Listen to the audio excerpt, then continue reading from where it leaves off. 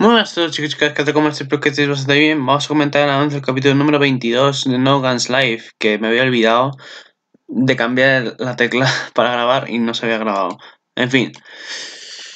Capítulo 91, básicamente un resumen así rapidito. Eh... Tetsuro acaba ganando al viejo, al Dr. Wasowski, pero ¿Qué pasa? Llega super, o sea, acaba súper herido. Tetsuo no puede apenas caminar para ir donde Yuso. Acaba Kao. Y aparece Seven. Que se cae al viejo y lo acaba matando. Luego Pepe aparece ante de Yuso. Y, y nada todos nos quedamos flipando porque básicamente se habían aliado, aunque dices pues Pepper que no es una aliación contra con este men, sino que porque tenía objetivos en común. Luego,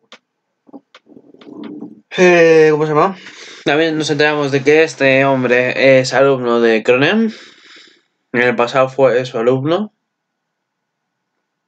A todo esto, Cronen estaba llegando y llegó, de hecho, al a la fábrica donde estaban, porque había como, no sé qué había ahora mismo, había como vaya gente alrededor ahí rodeando la, la, la zona.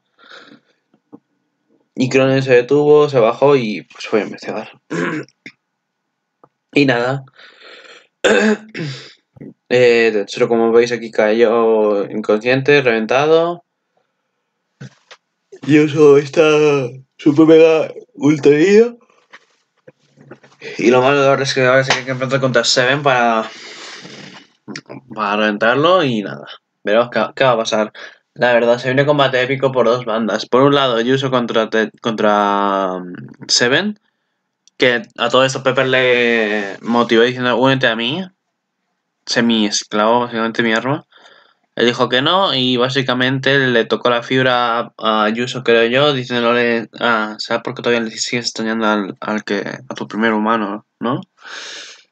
Se cabrea Yuso.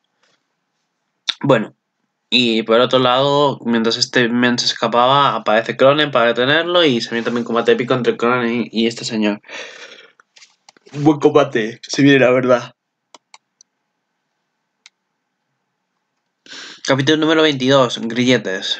Durante la feroz batalla entre Seven y Yuso, Kogi estaba pensando en cómo manejar a Tetsuro, quien se desmayó y cayó. Fue Cronen quien apareció allí, ex miembro de las mismas familias. Los dos, ahora en diferentes posiciones, comienzan a pelear. Yuso recuerda su pasado en la batalla con Seven. Agrega 7 a tu apariencia anterior, que no era más que una herramienta para la batalla. 13 parecía tener una ventaja en la pelea, pero el 7 comenzó a hacer más cambios. Uh. Bueno, aquí estamos viendo a Cronen. Eh, preparado para el combate. Mari, no sé dónde está ahora mismo. Que yo sepa, estaba en casa. Se ha quedado impactada. Este chulo está volviendo a usar Harmony. El Harmony potente de verdad. Y aquí vamos al antiguo, bueno, al primer humano que tuvo Yuso, que digamos. O sea, básicamente su primer amo, podemos decirlo.